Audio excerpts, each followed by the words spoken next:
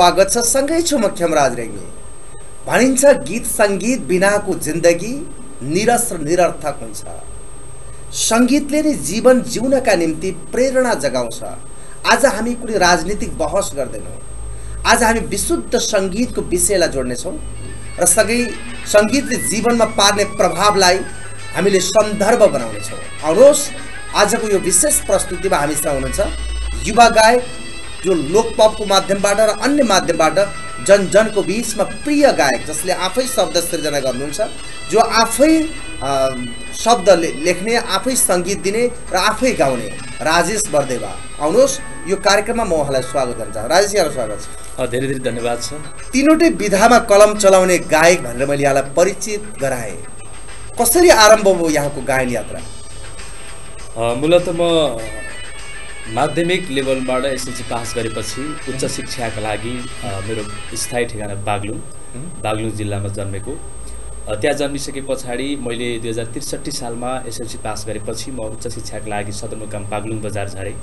बागलुङ बजार झरिसके पछाडि एउटा साइन्सको विद्यार्थी म आइएससी पढ्न सुरु गरेँ। आइएससी बायोलोजी मेरो पास गरिसके पछाडि बिएससी पढ्ने बेलामा दुई हजार उनसत्तरी सत्तरीबाट मेरो सानैदेखिको एउटा रुचि गायक बन्न पाए हुन्थ्यो होइन? सञ्चार क्षेत्रमा मेरा गीतहरू बजे हुन्थ्यो भिडियो आए हुन्थ्यो मेरा गीतका रेडियोमा मेरा गीतहरू बजे हुन्थ्यो टेलिभिजनमा मेरा गीतहरू बजे हुन्थ्यो श्रोता दर्शकहरूको माझमा जानु पाए हुन्थ्यो भन्ने खालको एउटा महत्त्वकाङ्क्षी थिएँ म त्यति बेला। र दुई हजार उनसत्तरी सत्तरीबाट औपचारिक हिसाबले मैले गीत रेकर्डिङ गर्न सुरु गरेँ अब। के छ तपाईँ सञ्चार क्षेत्रमा पनि काम गर्नुभयो? लामो समयसम्म एउटा सञ्चारकर्मी गीतको माध्यमबाट जनताको बिचमा आउँदाखेरि कतिको सहज हुँदो रहेछ? तुलनात्मक हिसाबले सञ्चार माध्यमबाट अलग भएर गीत सङ्गीत गर्नु र सञ्चार माध्यमसँग जोडिएर गीत सङ्गीत गर्नुमा तुलनात्मक हिसाबले सहज र असहज हुँदो रहेछ। मलाई के लाग्यो भने म आफै एउटा सञ्चार माध्यमसँग जोडिँदै गर्दा र कलाकारिता गर्दै गर्दाखेरिमा कतिपय आफूले उत्पादन गरेका गीतहरू आफूले बजार व्यवस्थापन गरेका गीतहरूलाई आफैले काम गर्ने सञ्चार माध्यमको थ्रुबाट दर्शक श्रोताहरू समक्ष पुर्याउँदा निकै सहज अनुभूति हुँदो रहेछ। र अर्को कुरा आफै एउटा मिडियाकर्मी भइसकेपछि मिडियामा पार्टिसिपेट भएका अन्य थुप्रै मिडियाकर्मी साथीहरूसँग कोअपरेसन गर्न साथीहरूलाई ल मेरो गीत आएको छ है साथीहरू यसलाई अलिकति पब्लिस गरिदिनु होला प्रमोट गरिदिनु होला मलाई अलिकति मोटिभेट गर्नु होला भनेर साथीहरूसँग कोअपरेसन गर्न पनि निकै सहज हुँदो रहेछ भन्ने लाग्यो। मैले अलिकति यो गीतको सन्दर्भमा जोड्न चाहेँ। प्राय जसो गीतहरू माया पिरतीसँगै सम्बन्धित हुन्छन्। जीवनलाई परिवर्तन गर्ने जीवन जिउने खालका गीतहरू गाइँदैन बजाइँदैन बनाइँदैन। यस्तो किन हुन्छ? यो अत्यन्तै सान्दर्भिक प्रश्न गर्नुभयो। त्यसको लागि हजुरलाई धेरै धेरै धन्यवाद छ। वास्तवमा म्युजिक भन्ने बित्तिकै लभ अपरिहार्य आउँछ। होइन? के प्रेम एउटा म्युजिकको रिसोर्स मेन रिसोर्सेस भनेको लभ मात्रै हुनसक्छ त? नेभर। यो कहिले पनि हुन सक्दैन। म्युजिकका अनगिन्ती र अनलिमिटेड असीमित स्रोतहरू छन् ताकि हामी वनजङ्गलको गीतहरू किन गर्दैनौँ हाम्रा नदी नाला पहाड हिमाल झरना छाँगा छहराका गीतहरू किन गर्दैनौँ भन्ने प्रश्न यो अत्यन्तै नेपाली साङ्गीतिक क्षेत्रमा सान्दर्भिक र अपरिहार्य अनि अनिवार्य प्रश्न हो। यसको जिज्ञासा मैले पनि खोजिरहेको छु। किन अब नेपाली म्युजिक इन्डस्ट्री मैले यस्तो एउटा यस्तो क्राइसिस छ यस्तो विडम्बना छ ताकि हामी प्रोफेसनल हुनको लागि हामीले प्रेमकै गीतहरू गर्नुपर्ने बाध्यता छ। होइन यो खालको ट्रेन्ड चाहिँ जरीदेखि उखेलिनुपर्छ भन्ने खालको अभियानमा म पनि त्यसको एउटा अभियानकर्मी हो अभियन्ता हुँ र फलत म अबको गीतहरू चाहिँ अब केही समाज परिवर्तनका गीतहरू अथवा जीवनसँग जोडिएका गीतहरू अथवा मान्छेको एउटा भनौँ न जीवनशैलीसँग जोडिएका गीतहरू गर्ने सोचमा छु अब केही अलिकति लोक सांस्कृतिक महत्त्व बोकेका गीतहरू गर्ने पनि सोचमा छु यो अत्यन्तै यो प्रश्नको लागि हजुरलाई धेरै धेरै धन्यवाद छ। जस्तै राजेशजी मलाई एकदमै खलेको एउटा प्रश्न तपाईँ साइन्सको विद्यार्थी जे देख्छ त्यही मात्र सत्य हो भन्ने बुझ्छौँ हामी साइन्स पढ्ने विद्यार्थीहरूलाई। हजुर। तर भावना बिना शब्द सिर्जना हुँदैन। तपाईँले यत्रो सङ्गीततर्फ यत्रो भावनात्मक विधातर्फ कसरी आकर्षित हुनुभयो कसले आकर्षण गर्यो? यो मेरो प्राकृतिक एउटा मेरो एउटा मेरो एउटा मस्तिष्क मेरो हृदय मेरो अन्तर्मनले पनि यो एउटा जन्मसिद्ध त्यो भावना बोकेर आयो पहिलो कुरा त। होइन मेरो जन्मसिद्ध के भयो भने म म्युजिक मेरो एउटा मनमा मेरो हृदयको एउटा पिँधमा गहिराइमा पुग्यो। त्यसपछि बिस्तारै अब हुर्किने क्रममा बढ्ने बालपनका अवस्थाहरूदेखि किशोर अवस्था पार गर्दै गर्दा होइन अहिले चाहिँ यो अवस्थासम्म आइपुग्दाखेरि विभिन्न रेडियो सञ्चार माध्यमहरू टेलिभिजनको माध्यमबाट माध्यमबाट थुप्रै नेपाली म्युजिक इन्डस्ट्रीका अग्रज गायकहरूका गीतहरू सुन्ने हेर्ने कुराले त्यसलाई अझै धेरै एउटा उत्प्रेरकको काम गर्यो। जसले गर्दा म आफै जन्मसिद्ध पनि भोलि बिहान म्युजिकमा काम गर्न म्युजिकको फिल्डले मलाई तान्यो र फलत आफूलाई पनि एउटा कलाकार बन्ने गायक बन्ने एउटा त्यो खालको एउटा अवस्थामा अहिले उभिएको छु सङ्घर्षको चरणमा छु। तपाईँ जुन ड्रेसअपमा हुनुहुन्छ नि आम दर्शक महानुभावले त्यो टेलिभिजन हेरिराख्नु भएको छ तपाईँको अभिव्यक्ति सुन्दाखेरि साँच्चै एउटा महान व्यक्तिको अभिव्यक्ति भन्दा कमी छैन। तर जुन ड्रेसअपमा जुन स्टाइलमा हुनुहुन्छ। तपाईँले सम्हाल्नु भएको छ लोक विधा। हजुर। तर त्यो विधा र तपाईँको गेटअप मेल खान्छ? यो अत्यन्तै अर्को राम्रो प्रश्न गर्नुभयो अब हामी पहिलो कुरा म एक्काइसौँ शताब्दी एउटा नयाँ प्रविधि विज्ञान कम्प्युटरको युग अ, सँग ठोकिन चाहन्छु होइन?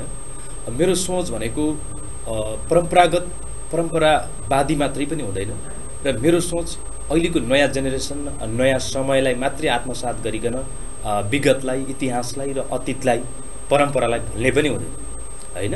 र अहिलेको शैली भनेको के हुन्छ भने अब बिस्तारै समय परिवर्तन हुँदै गर्दा अहिले मान्छेहरूको पहिरनहरू बदलिनु बदलिनु। होइन?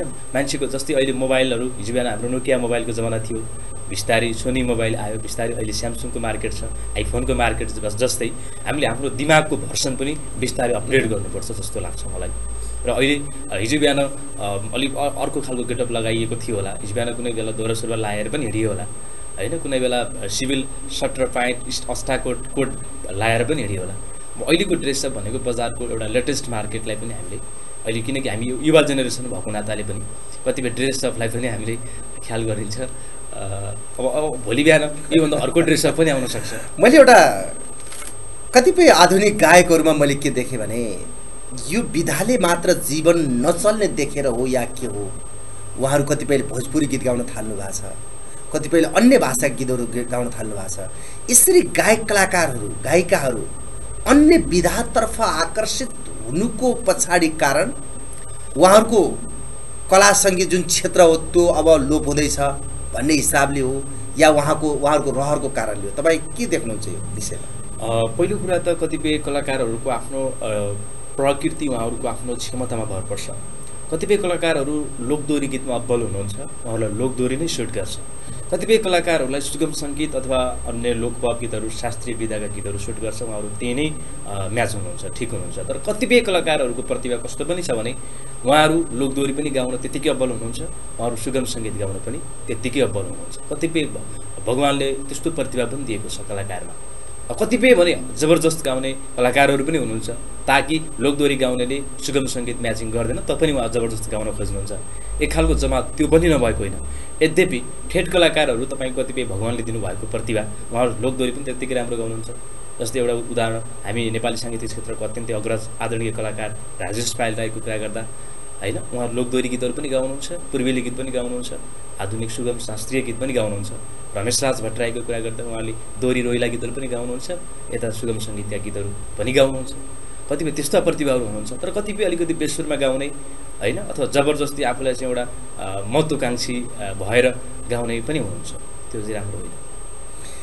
के छ तपाईँ गायकै हो म त्यही अनुसार परिचय दिइरहेको छु। स्टुडियोमा बोलाइरहँदाखेरि जनताको बिचमा अथवा दर्शकको बिचमा तपाईँले कुनै पनि भाका गुनगुनाउनु भएन भने मैले तपाईँलाई प्रश्न सोधेको कुनै सार रहँदैन।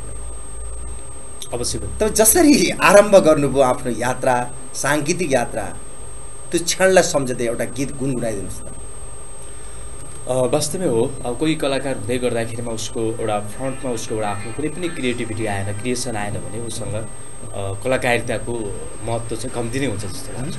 म मूलत गायक नै हो। म गायक बन्न चाहन्छु म अभ्यासमा छु। सिकिरहेको छु। मेरो जीवनलाई म सिकेरै बिताउन चाहन्छु। अभ्यासमै बिताउन चाहन्छु। म अभ्यासमै छु। हो अभ्यास गर्दै जाँदा केही कमी कमजोरीहरू त्रुटि हुनसक्छ त्यसलाई स्वाभाविक हिसाबले आधुनिक दर्शकहरूले बुझिदिनु हुनेछ। अहिले पनि यहाँहरूको लागि मेरो बोर भयो मायालो गिटार बजाइदेऊ यहाँ युट्युबमा पनि हेर्न सक्नुहुन्छ आधुनिक दर्शकहरूले। सोही गीत यहाँहरूलाई म सुनाउन चाहन्छु। यसको के अंश दर्शकहरूले सुनिदिनु होला। रङ्गाउला सिउँदो तिम्रो लाउली हातमा चुरा लाउली हातमा चुरा जवानीको तिम्रो कुरा गर्छु मैले पुरा दिलमा सजाइदेऊ बोर भयो मायालु गिटार बजाइदेऊ रङ्गाउला सिउँदो तिम्रो लाउली हातमा चुरा लाउली हातमा चुरा। जवानीको तिम्रो कुरा गर्छु मैले पुरा। दिलमा सजाइदेऊ बोर भयो मायालु गिटार बजाइदेऊ। हे बोर भयो मायालु गिटार बजाइदेऊ। थ्याङ्क यू माया प्रीतिको गीत गाइरहँदाखेरि कतिपय सर्जकहरू आफ्नै जीवनसँग मेल खाने सृजना गर्छन् भन्छन्। हजुर। के तपाईँको पछाडि पनि त्यही कज हो? मैले अब प्राय कलाकारहरूको ट्रेन हुन्छ उहाँहरूले प्रायले आफ्नो वास्तविकतालाई गीतबाट उतार्ने प्रयास गर्नुहुन्छ होला। मेरो यो गीतले चाहिँ मेरो वास्तविकतासँग मेल खाँदैन। यो नितान्त परिकल्पनामा आधारित गीत हो। राजेशी कला र गलाको जसले पनि सम्मान गर्छ। जीवन एक्लै हुनुहुन्छ कि कसैसँग जोडिसक्नु? मेरो जीवन कसैसँग हुन त जीवन सबैसँग जोडिन्छ। हामी पृथ्वीमा रहन्जेलसम्म माटोसँग पनि हाम्रो जीवन जोडिन्छ। होइन? तरल पदार्थ ग्यास पदार्थ ठोस पदार्थ होइन? पृथ्वीका सबै निर्जीव र सजीव वस्तुहरूसँग हाम्रो प्रत्यक्ष अप्रत्यक्ष हिसाबले जीवन जोडिएकै हुन्छ।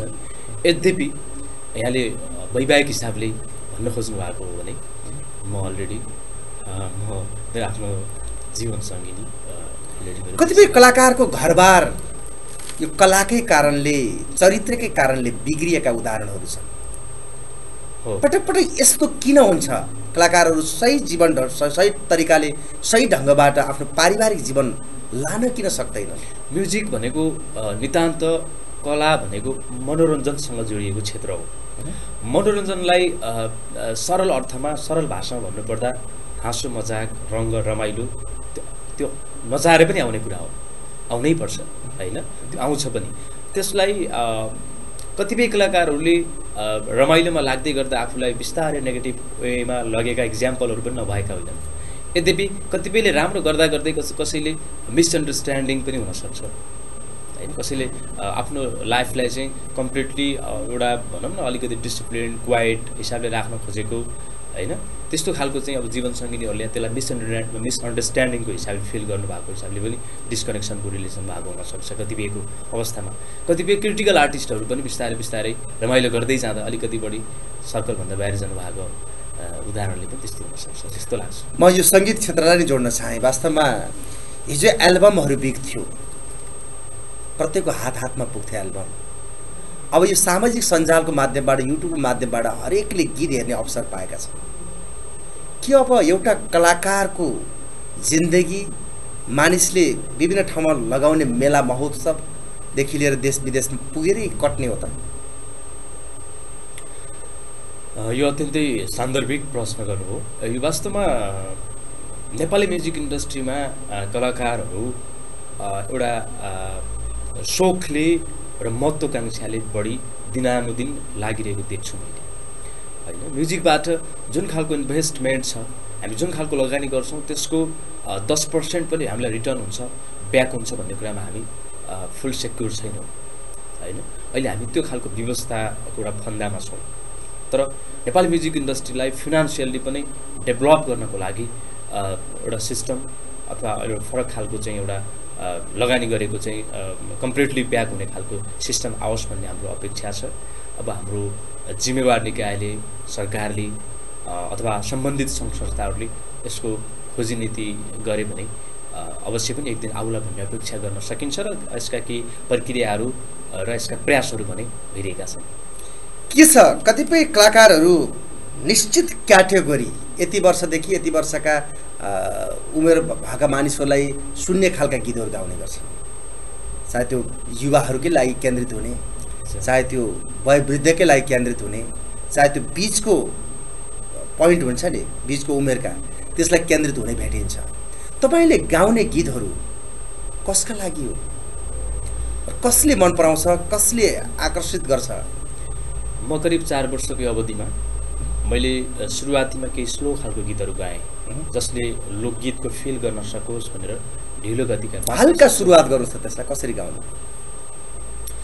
हे नसकेमा म तिम्रो भन्नलाई पाइन भने मेरै हौ भन्नलाई साह्रै मन दुख्छ मायालु।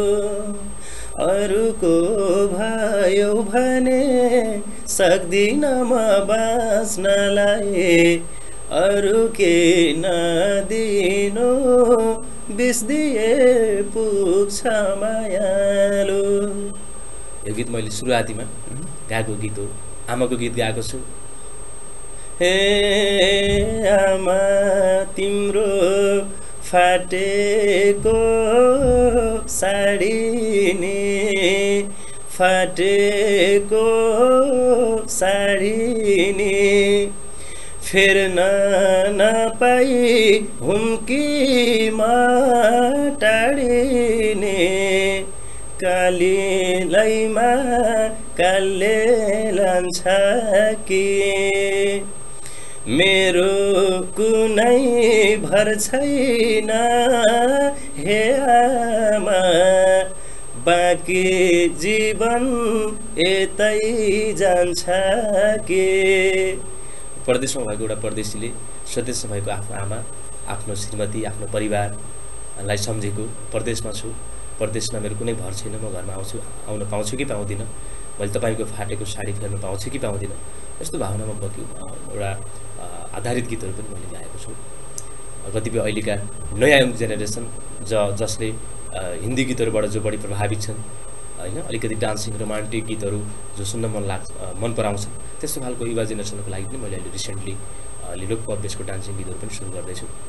लगभग सबै खालका आमा बुवा हजुरबा हजुरआमाहरूदेखि लिएर अहिलेका मेरै दामलीहरूले पनि सुन्न मिल्ने खालको इलेभेन टुवेल्भ कलेज लाइफको इलेभेन टुवेल्भको बेसको स्टुडेन्टहरूले पनि सुन्ने खालको गीतहरू गाउन सकु भन्ने मैले प्रे गरिरहेको छु। के छ राजेशजी यो कला क्षेत्रमा लागेर जीवन जिउनेहरू अन्य पेसा र व्यवसायलाई अप्नाउनु पर्दैन होइन। नेपाली म्युजिक इन्डस्ट्रीको कन्टेक्स्टमा कुरा गर्नुपर्दाखेरि अहिले नेपाली म्युजिकमा मात्रै लागेर आफूलाई गर्न त्यत्तिकै गाह्रो भएका कलाकारहरू पनि हुनुहुन्छ। र यही क्षेत्रबाट आफूलाई चाहिँ ब्यालेन्स गरेका अथवा आफूलाई आफ्नो जि अ, एउटा आफ्नो रोजीरोटी आफ्नो दैनिकी चलाइरहनु भएका कलाकारहरू पनि हुनुहुन्छ। मेरो कन्टेक्स्टमा कुरा गर्नुपर्दा म पहिला यो क्षेत्रमा अलिकति सशक्त हिसाबले नलाग्दाखेरि म साइन्स टिचर पनि थिएँ। लोवर सेकेन्डरी लेभलको क्लास पनि मैले पढाउँथेँ। ट्युसन पढाइन्थ्यो होइन? टिचिङ पनि गरिन्थ्यो रेडियोमा पनि काम गरिन्थ्यो कुनै बेला। म चार पाँच वर्ष त करिब रेडियोमै काम गरियो समाचार पढ्ने कार्यक्रम गर्ने पनि गरियो। अहिले यो एट दिस टाइम भने म अब यसमा सङ्गीतमा जुन क्षेत्रमा लाग्नु छ त्यसमा चाहिँ मजाले लाग्ने भने गर्न सकिन्छ भन्ने छ र मैले गरिरहेको छु। के छ यो साङ्गीतिक यात्राको क्रममा तपाईँ नेपालदेखि अन्य देशहरूमा कतिको माग हुन्छ सिङ्गापुर कहाँ सिङ्गापुर गएँ हाम्रो नेपाली इन्डस्ट्रीको चर्चित गायिका मेलिना राई सम्झना लामिछाने मगर कमेडी हाम्रो महादेव त्रिपाठी लगायतको टिम हामी सँगै सिङ्गापुरको प्रोग्राम गऱ्यौँ। त्यस्तै गरी म मलेसिया गएँ। म जापानको पहिलो जापानको कार्यक्रम चाहिँ मेरो भिजा लागेन। भिजा लागेन भन्दा पनि प्राविधिक कारणले गर्दाखेरि म असफल भए जानलाई मेरो आफ्नो व्यक्तिगत कारणले। अब अहिले चाहिँ अब अन्य विभिन्न देशहरूको लागि कुराकानी भइरहन्छ अब हेरौँ समयले भाग्यले कहाँ पुर्याउँछ नेपालभित्र निम्ता गर्दाखेरि विभिन्न आयोजक सङ्घ संस्थाले तपाईँहरूलाई सन्तुष्टि हुने पारिश्रमिक दिन्छन्? अब सन् तपाईँलाई सन्तुष्टि हुने भन्दा पनि हामी कसरी सन्तुष्टि हुने भन्दा पहिलो कुरो त मान्छेको स्वभाव नै के हुन्छ भने मान्छे सन्तुष्ट हुनु हुँदैन मानव प्राणी भनेको नेभर सन्तुष्ट नहुने स्वभाव बोकेको प्राणी हो होइन? मैले त्यसरी बुझ्छु। अब त्यही पनि अब आफूले कसरी सन्तुष्ट ल्याउने अब म त आफूलाई चाहिँ कसरी सन्तुष्ट गराउने? म सन्तुष्ट छु जस्तो लाग्छ। के छ यो क्षेत्रमा चुनौतीहरू? र सँगै त्यो चुनौतीसँग जुझ्नका निम्ति प्रयत्न कस्तो गर्नुपर्दो रहेछ? चुनौती त हामीले अघि सुरुवातीमै कुरा गऱ्यौँ ताकि म्युजिक अहिले किन एउटा माया प्रेम मात्रै म्युजिकको एउटा शब्दकोश बनिरहेको छ भनेर। हामीले सुरुमै कुरा गऱ्यौँ पहिलो चुनौती त्यहाँनिर छ। नेपाली म्युजिक इन्डस्ट्रीमा लागेका लाखौँ अथवा हजारौँ कलाकारहरू किन माया प्रेमभन्दा बाहिर रहेर गीतहरू गर्न सकिरहेका छैनन् पहिलो चुनौती त्यहाँनिर छ। मैले मलाई के लाग्छ भने सकभर हामी सबै कलाकारहरू आज जसरी माया प्रेमका गीतहरूमा रमाइरहेका छौँ त्यसरी भोलि आएर आफ्नो देश प्रेमी गीतहरूमा रमाउन सकौँ। होइन? हामी नारी का गीतहरूमा रमाउन सकौँ। अझै पनि हाम्रो समाजमा धेरै कलङ्कहरू छन्। अझै धेरै कुरीतिहरू छन्। अझै धेरै विसङ्गतिहरू छन्। त्यस्ता गीतहरूमा हामी रमाउन सकौँ अझै पनि मद्यपान र धुम्रपानको कुलतमा फँसेका अझै थुप्रै युवा साथीहरू हुनुहुन्छ। ती गीतहरूमा रमाउन सकौँ पहिलो चुनौती त्यो लाग्छ मलाई। र अन्य फिनान्सियल क्राइसिसको कुराहरू छन् हामी किन लाखौँ रुपियाँ लगानी गरेर आज किन हामी दस हजार पनि सहजै प्राप्त गर्न सक्दैनौँ हाम्रो गीतबाट त्यो हाम्रो अर्को चुनौती त्यो चुनौतीलाई छिटै हल गर्न सकियोस्। होइन? आज अत्यन्तै राम्रो कला गला भएर पनि त्यो कलाकार किन स्टेजमा डिमान्ड गर्न सकिरहेको छैन? के स्टे डान्सिङ गीतहरू मात्र मात्रै गर्ने कलाकारहरू कलाकार हुन् अरू सुगम सङ्गीत स्लो गीतहरू गाउने कलाकार होइनन् त। त्यो पनि अर्को चुनौतीको विषय छ। नेपालमा सबै कलाकारहरू सबै कार्यक्रममा जान पाइयोस्। कोही कार्यक्रम कार्यक्रममा गएर मैले आफ्नो गीतहरू प्रस्तुत गरौँला भनेर दिन कुरेर बस्ने खालका विडम्बनाहरू छन्। यो विडम्बनाहरू छिटै समाधानतिर जान सकोस्। थुप्रै चुनौतीहरू छन्। हामीसँग अब समय धेरै बाँकी छैन। तपाईँ अहिलेको ऊर्जावान युवा हो मैले बुझ्दाखेरि। जो साइन्स पढेसँगै कला क्षेत्रलाई आलिङ्गन गरेको युवा र सँगसँगै अगाडि बढिरहेको युवा भोलि केही सम्भावना बोकेको युवा पनि हो। अन्त्यमा यो बुद्ध सामुदाय टेलिभिजन मार्फत जो आफूसँग कला छ गला छ तर साथ पाएन तिनीहरू खुम्चिएर बस्नु परिरहेको छ। कतिपयलाई इच्छा छ तर जाने मार्ग भेटेनन्। सबैलाई यो टेलिभिजनको माध्यमबाट बुद्ध टेलिभिजन माध्यमबाट तपाईँ के भन्न चाहनुहुन्छ? अन्त्यमा सर्वप्रथम त हामीलाई यो छोटो समय आफ्नो व्यस्ततालाई कि टाढा राखेर हामीलाई हेरिदिनु हुने सम्पूर्ण आदरणीय दर्शकहरूलाई मुरीमुरी अत्यन्तै हार्दिक आभार व्यक्त गर्न चाहन्छु। एउटा जीवन हो जीवनलाई सङ्घर्षसँग जोडेर हेर्नुपर्छ। जीवनमा धेरै कठिनाइहरू हुन्छन् धेरै पीडाहरू हुन्छन् धेरै विघ्नहरू आउँछन्। त्यसलाई धेरै पर्खालहरू धेरै बाधा र अडचनहरू आउँछन्। त्यो नै एउटा स्वादिष्ट जीवन हो। यो जीवनलाई पार गरिन्छ तर निरन्तरता चाहिन्छ। जीवनमा तपाईँले प्र्याक्टिस गर्नुभयो प्र्याक्टिसलाई कन्टिन्युटी गर्नुभयो र फुल फुल डिसिप्लिनमा तपाईँले त्यो प्र्याक्टिसलाई कन्टिन्युटी गर्नुभयो भने तपाईँ एक दिन अवश्य सफल हुनुहुन्छ भन्ने म पनि अहिले त्यही प्रोसेसमा छु। मैले मेरो आफ्नो जीवनलाई प्र्याक्टिस र कन्टिन्युटीको हिसाबले अगाडि बढाइरहेको छु। तपाईँहरू नातिनु होला न्यू जेनेरेसन अथवा न्यू कमर आर्टिस्टहरू। तपाईँहरूलाई म यही सजेस्ट गर्न चाहन्छु र मूलत यो कार्यक्रममा मैले आफ्नो मनमा लागेको कुरा भन्छु। अहिलेसम्म धेरै मिडियाहरूसँग म कोअपरेसन गरेँ होला। धेरै सञ्चारकर्मीहरूसँग मैले भलाकुसारी गरेँ होला। तर आज हाम्रो खेमसरसँग अ, कुराकानी गर्दा यसरी यो भलाकुसारीमा रहँदै गर्दा पहिलोपटक मलाई अत्यन्तै हर्ष र अत्यन्तै गौरव यस्तो कुराकानी कसैसँग भएन। त्यसरी त्यसको लागि म हजुरप्रति अत्यन्तै आभारी छु। क्यामेराम्यान साथीहरू त्यस्तै गरी यो टेलिभिजन परिवारलाई विशेष आभार व्यक्त गर्न चाहन्छु र मूलत हाम्रो भगवान् भनेको दर्शक हो श्रोताहरू नै हो उहाँहरूप्रति पनि हार्दिक आभार व्यक्त गर्छु। म एउटा सङ्घर्ष गर्दै गरेको कलाकार राजेश बर्देवालाई यहाँहरूले सजेस्ट गरिदिनु होला इन्सपायर गरिदिनु होला प्रेरणा आशीर्वाद हौसला दिनु होला। धन्यवाद। महत्त्वपूर्ण समय दिनुभयो। जुन क्षेत्रमा हुनुहुन्छ साँच्चै सफल कलाकार भनेर सबैले चिनुन्। सङ्गीत शब्द सिर्जना र गायनमा तपाईँको सबैले चर्चा गरून् यहाँलाई शुभकामना। यहाँलाई पनि धेरै धेरै धन्यवाद। बुटोलको मेरो यो पहिलो आगमनमा आज यो टेलिभिजनमा यसरी कुराकानी गर्ने माहौल अवसर प्रदान गर्नुभयो र अत्यन्तै भलाकुसारी गर्ने यहाँको शैली फर्स्ट टाइम मैले अत्यन्तै राम्रो लाग्यो। मैले अन्तर्मनबाटै भनेको सरप्रति हार्दिक आभार छु। आदरणीय दर्शक महानुभाव आज हामीले कुराकानी गऱ्यौँ जसले आफै सङ्गीत दिने आफै सृजना गर्ने आफै गाउने एउटा युवा कलाकार जो ज्ञानमा पनि शिक्षामा पनि अब्बल कलाकार राजेश बरदेवा।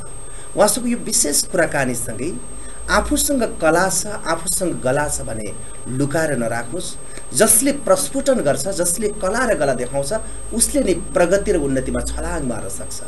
यही अभिव्यक्ति राख्दै यो विशेष प्रस्तुति विशेष भेटबाट म पनि आगे चाहन्छु। नमस्कार।